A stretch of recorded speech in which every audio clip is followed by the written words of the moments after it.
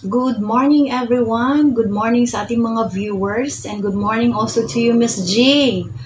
And good morning to my kababayan dito sa Santa Fe, Bantayan Island, Cebu. Good morning to our parish priest, Father J. Villasaran.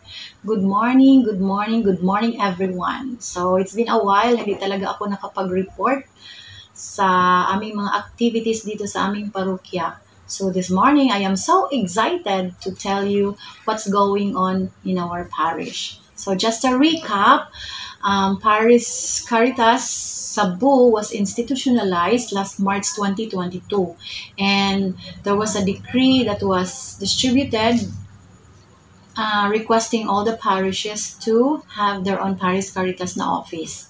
And I am so proud to say that even before the Paris Caritas Cebu was institutionalized, we already have our Paris Caritas na office because RRU nakapasok dito sa aming isla and uh, we've undergone 22 days of extraordinary formation na class. Um, it was headed by Father Charles Jaime, or the our Relief and Rehabilitation Unit Cebu. So, 27 dedicated na mga volunteers sa aming social action. So, we are so happy and our parish is so happy with that. And inside our social action center, we have seven ministries. So, one of that is the Relief and Rehabilitation Unit. Um, ito yung mga tumatakbo during disaster and mga kalamidad. And we also have ministries on health, ministries on education, ministries on environment, and ministries on social advocacies, ministries on livelihood, and we have the ministry on Alay Kapwa. Okay, so this morning I'll be talking to you or I'll be informing you all about our program with Alay Kapwa. But before that, I would like to say thank you to Sir Benny and also to Father Alex Cola of Paris Caritas Cebu kasi pumunta talaga sila dito sa aming parokya and they explained to us how the Alay Kapwa would run. So after that one, nagdi-distribute na kami ng mga um, recycled plastic mineral bottles and also canisters. Doon inilalagay ng mga coins and mga piso-piso as their donation or help para sa ating Alay Kapwa. That's how we gathered our Alay Kapwa fund. So with that one, we distributed um, relief goods, um, groceries, foods to those barangays, identified barangays and areas na talagang nangangailangan ng tulong natin. It's been a while na ginagawa natin ang ganito. Parang nagdudul out tayo ng mga goods sa mga taong nangangailangan. Kasi as you all know, talagang after the Super Typhoon Yolanda and even the pandemic or COVID-19, talagang ang mga kababayan natin dito sa Santa Fe was not able to stand. Di talaga nakabangon kasi nahihirapan talaga sila with the present situation. Marami talagang naghihirap. Maraming almost hindi na nakakakain. Maraming nawalan ng trabaho or even mga negosyo nila. So talagang naghihirap yung ating komunidad dito sa Santa Fe. Okay, so, but after a while, we evaluated yung ginagawa natin. Nakikita natin na why not um, go to a specific program specific namin na system on how to run the Alay Kapwa. So, we sit down with our parish priest, Father Dave Villasaran, and also the chapel leaders and the youth and us, the volunteers, and we decided or we come up to a decision now we will help one family at a time. So our program is Help a Family through Alay Kapwa Fund. But good thing is, not only the Alay Kapwa Fund yung tinutulong natin. We invited or we encourage one family also to help another family. So medyo okay siya. So we connected or we linked to the different chapels. Chapel to chapel po tayo na nag tumutulong ng ating mga beneficiaries. Kasi yung mga chapel leaders natin or the chapel youth are the ones who knows kung sino talaga yung mga taong nangailangan sa kanilang lugar. So, after identifying kung sino yung mga least of our brothers and sisters or the poorest of the poor na kailangan talaga nating tulungan, uh, we will go there and document, took some pictures and videos para meron tayong mga documents na masisave. And then, i-award natin or tutulungan natin or bibigyan natin ng mga groceries during every Sunday na Mass. So, meron tayong isang family or isang beneficiary na tutulungan natin every Sunday.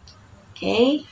So, after that one, we were able to help 16, 16 na mga beneficiaries or family with the 16 chapels that we have um, in our island and another island in Hilantagaan. But after a while, before we run for the second phase na or second round, we were so glad and happy kasi pumasok na si Daughters of St. Camilos.